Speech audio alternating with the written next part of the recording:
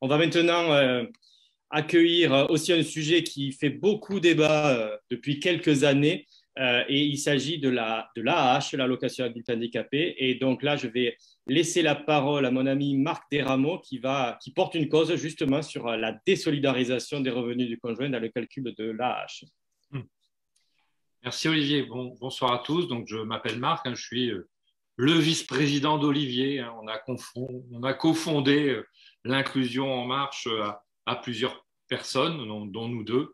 Euh, et, sur la hache, et ce depuis, depuis quelques années, euh, nous sommes bien conscients que l'un des sujets principaux dans le monde des personnes fragilisées par le handicap est la désolidarisation des revenus du conjoint pour le calcul de l'allocation adulte handicapé. C'est un sujet sensible et épidermique. Qu'est-ce qu'on entend autour de nous? On m'interdit le droit à l'amour. On m'oblige à devoir faire un choix entre une vie commune et la baisse du minimum social qui, me permet de survivre. Rendre mon couple officiellement fiscalement officiel fiscalement me rend plus vulnérable car dépendant financièrement de mon conjoint. On entend aussi euh, le handicap est individuel mais pas mes ressources. On entend malheureusement également je suis victime de violences psychologiques, tu ramènes rien à la maison pour faire bouillir la marmite. Quand malheureusement ce ne sont pas des violences physiques.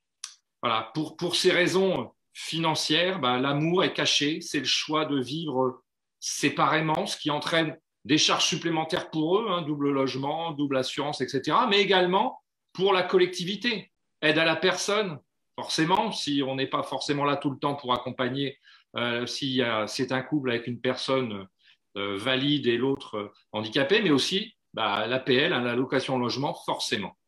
Donc, euh, euh, dans les différents rapports, j'ai cherché un peu voir s'il n'y avait pas aussi euh, possibilité de réfléchir à, à des économies que la collectivité pouvait faire à désolidariser les revenus. Alors, lorsqu'une personne est dépendante à la naissance ou au cours de sa vie et ne peut pas travailler partiellement ou totalement, les experts, les services de médecine au travail sont là pour le vérifier si la personne peut ou ne peut pas travailler. Donc, on pourrait évacuer l'idée que certains développent, que cela favoriserait une rente à vie si on désolidarisait euh, les revenus du conjoint. Est-ce que la désolidarisation des revenus dans le mode de calcul favoriserait une absence de recherche d'emploi adapté Mais que se passe-t-il actuellement, dans le contexte actuel, quand on perçoit la hache Si on retravaille partiellement, ça fait aussi baisser l'allocation. Est-ce que c'est plus démotivant? Non, parce que il y a l'envie de, sociabilisation, bien évidemment. La hache a été revalorisée. Hein, Adrien disait euh, qu'il y a beaucoup de choses qui ont été faites. Oui, c'était une promesse euh, du, président de la République, il s'y était engagé, ça a été fait, mais son indexation au revenu du conjoint se vit toujours comme une dépendance financière se rajoutant à celle du handicap. Alors, cette cause que je porte collectivement a, pour but de mener une réflexion profonde et amener les responsables politiques à s'interroger sur la hache. Doit-elle conserver son statut de revenu social comme le RSA Car c'est un revenu social, contrairement à ce que pensent beaucoup de personnes. Oui, c'est un revenu social et c'est pour ça que fiscalement, euh, il est euh, intégré, si j'ose dire.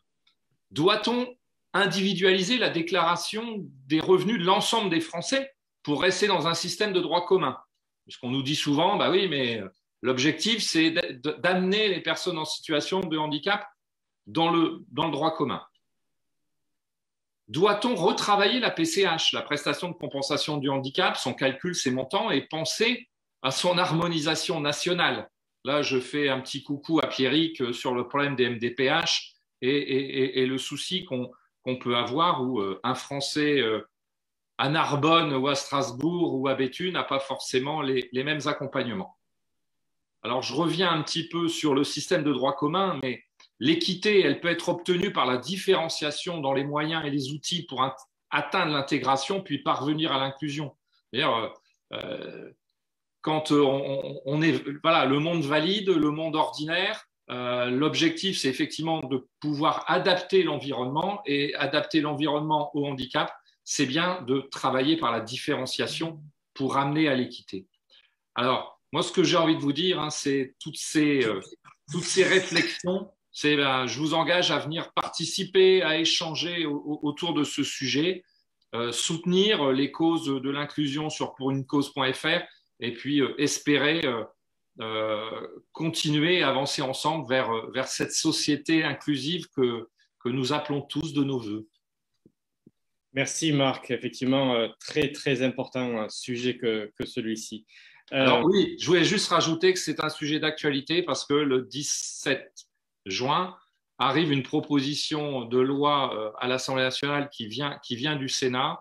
Euh, donc moi, j'essaye aussi d'alerter en disant attention, euh, voilà, c'est une loi qui vient, un projet de loi qui vient de l'opposition. On aura tendance effectivement à, dire bon tiens, on rejette parce que ça vient pas entre guillemets de notre camp. ne rien proposer voilà, la rejeter sans rien proposer derrière, je, pense qu'on risque de vivre la même chose quand euh, les députés ont été euh, placardés euh, un peu partout avec des têtes de Playmobil en 2018. Et ça, à trois jours des élections départementales et régionales, je pense que le piège politique, le calendrier, il est catastrophique.